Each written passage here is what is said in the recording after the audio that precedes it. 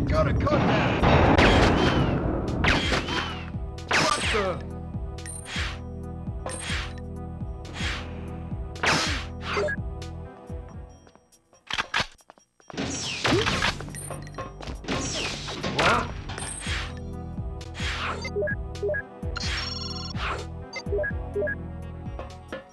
I'm going for cover. Stop dodging.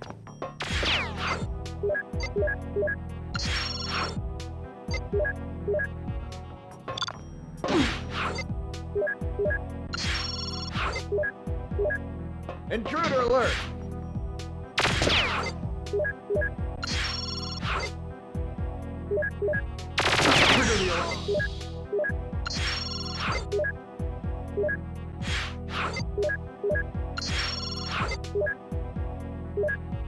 There's someone here. The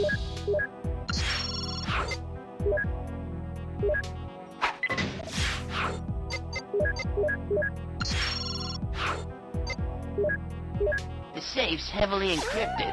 The decoders. We've recovered the sapient from Carrington and altered its programming. It no longer has a personality, so there will be no further incidents. This will reduce its efficiency. My team will have to take it to the core themselves. This will endanger them. You should have anticipated the sapient might develop a troublesome moral code. No one could have predicted that, and I resent being singled out for blame. What about him?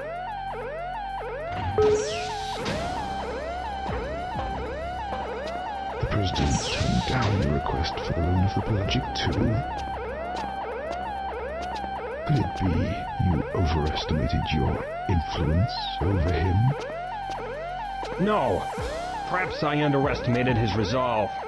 We have a contingency plan ready to go, and we will move as soon as the presidential entourage arrives at the airbase. All I need from the president is a tissue sample. Assuming you don't get any interference. If Carrington has pieced together enough of this, he will have called for reinforcements. There will be no outside help from Mr. Carrington. Someone hit her. I'm going for cover. Steve,